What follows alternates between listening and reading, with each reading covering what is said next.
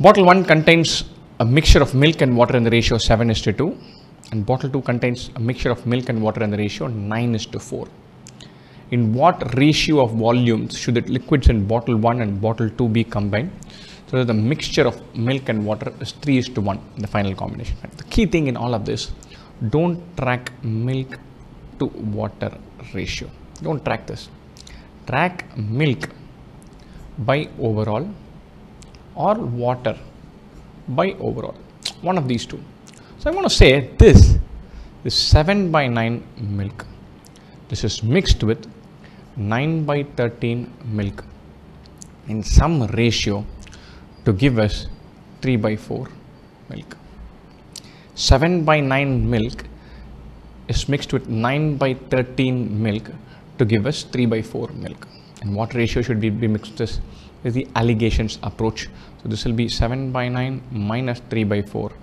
This will be 3 by 4 minus 9 by 13. 7 by 9 is more than 9 by 13.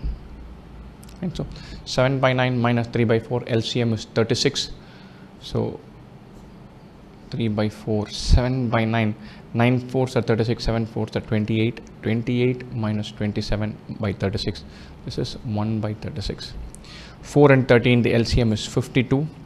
3 by 4 is 39 by 52.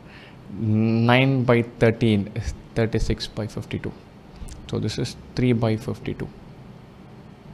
Or they should be mixed in the ratio 3 by 52 is to 1 by 36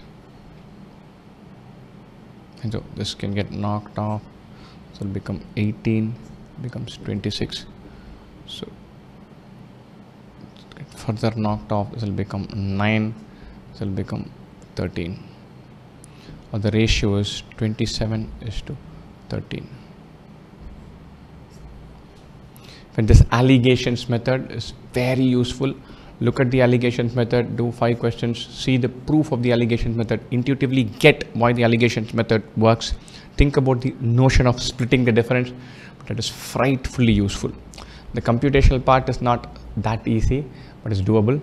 But but there's a very regular question. This way of mixing two mixtures to get one mixture and then finding the ratio it's very simple. Get some practice and you should nail these questions